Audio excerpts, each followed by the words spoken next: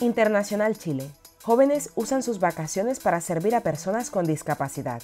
Un grupo de jóvenes en Chile decidió usar días de sus vacaciones para irse de voluntarios al pequeño Cotolengo, un hogar que acoge a personas en situación de abandono y de discapacidad intelectual.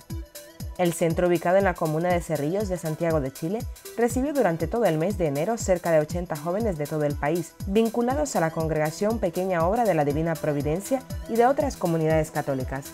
El trabajo principal de los voluntarios fue acompañar los talleres que se realizan en el hogar, además de crear nuevas instancias para la participación, como el taller Siempre Lindas, de maquillaje y manicura dirigido a las residentes del centro. Todos los días del voluntariado tuvieron espacios de formación espiritual que contempló la celebración de la Santa Misa, adoración eucarística, rezo del Santo Rosario y lección divina.